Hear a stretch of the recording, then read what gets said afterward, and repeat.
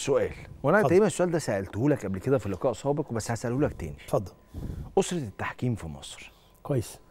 أنا عمري ما شفت أسرة للتحكيم في مصر. بمعنى أي رئيس لجنة حكام كان موجود هو بيهاجم وينتقد اللي قبله أو اللي بعده. أي عضو في لجنة الحكام بيهاجم وينتقد. حكم في الملعب حتى في الكواليس يقول لك لا ما هو أصل الحكم المساعد هو اللي كان عنده مشكلة والحكم الفار هو اللي مش عارف عامل إيه. بحس دايما ولو هي أسرة فهي أسرة مشوهة جدا فيها كثير من المشاكل يعني أنا, هت- هنا أنا هتحفظ بس على لقب مشوه. آه. يعني ممكن نقول أي لفظ تاني غير مشوه دي. إحنا الحمد لله مش مشوهين. لا عفوا. التشويه أقصد إنه في تشويه منكم لبعضيكم. يعني أقصد إيه؟ طيب إنه- هرد عليك في الآخر. ه- آه هكمل لك. إنه الكابتن توفيق دلوقتي مسؤول في هيئة الحكام. فيشوه شغله يشوه شغله لو أنت عايز اللفظ دقيق يعني. يشوه شغله اللي قاعد بره. كابتن توفيق قاعد بره. أنا بكلمك بصراحة صحيح، صحيح. هنفضفض. كابتن توفيق قاعد بره فاللي بيشتغل ده عنده مشاكل واحد تلاتة، فشوه شغله برضه. هو بالنسبة لي يعني بالنسبة لي أنا أنا مش تشويه. يعني آه. أنا أنا النهارده كنت مسؤول. تمام. لما كنت مسؤول يا كابتن كريم مم. أنا ما طلعتش ولا لقاء تلفزيوني. تمام. لو حضرتك فاكر طبعا. أنا المداخلة الوحيدة اللي عملتها مع حضرتك وكان ليا الشرف صحيح شرف كان. مباراة آه، تقريبا لل لل المنتخب القومي أو حكم حكم من حكامنا المحترمين حكم نهائي, السوبر كان محمود البنا. صحيح. واتكلمت مع حضرتك كلنا كنا فرحين ساعتها بالكابتن محمود البنا وعمل شغل كويس. صحيح. طبيعي إن إحنا نشيد بالحكم. دي المكالمة الوحيدة اللي أو المداخلة الوحيدة اللي أنا عملتها. لكن أنا كنت مسؤول في لجنة الحكام. ما عملتش ولا مداخلة ولا رديت على حد. مفهوم. خرجت بره لجنة الحكام. بقيت راجل ده شغلي إن أنا أحلل حالات تحكيمية. ما شوهتش في حد. أنا عندي حالة تحكيمية تستوجب. دي ركلة جزاء آه، دي تسلل. صحيح. آه، ده كان اللاعب يستحق الطرد. لكن هات لي مرة حاجة أنا اتكلمت فيها ودخلت في أمور شخصية لشخص. لكن أنا بنتقد عارف, عمل. عارف أنا بحب اللقاء معاك ليه دايما؟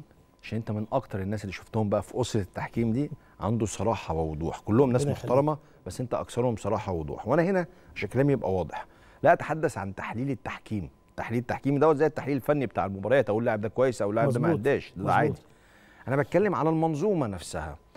كل الناس اللي بتيجي تقول لك اللي قبلك ما كانش كويس اللي جه بعدي ما كانش كويس. أنا بس اللي كويس. أنا أنا بس اللي كنت بدير كويس. لا. وأديك أنت وأنت شايف ده. شوف وأنا بشتغل آه. أنا كان عندي أخطاء.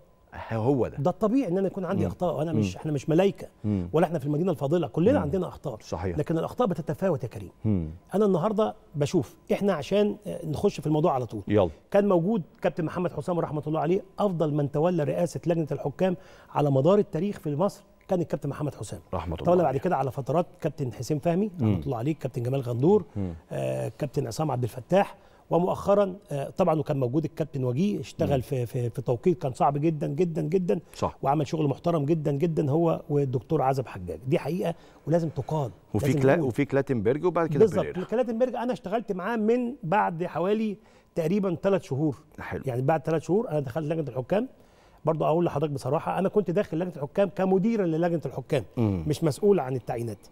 بس آه، حصل آه، ان قالوا لي طب هنمسك نشتغل مع مارك نساعد مارك في موضوع التعيينات آه، لفترة مؤقتة وبعد كده آه، ننقل على آه، إدارة التحكيم بس- باختصار شديد جدا عشان الناس تبقى فاهمة عمل لجنة الحكام.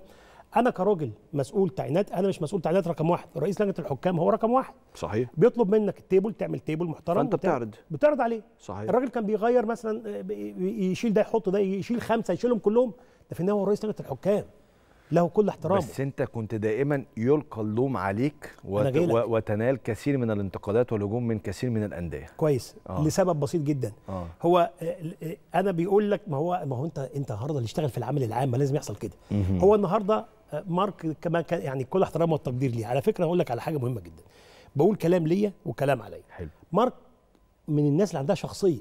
مم. لو كان فاضي للتحكيم المصري فقط ما يبقاش مشتت ما بين اليونان وما بين مصر أنا أعتقد إن أداء مارك كان هيبقى مختلف وكان. ممكن يكون موجود لحد دلوقتي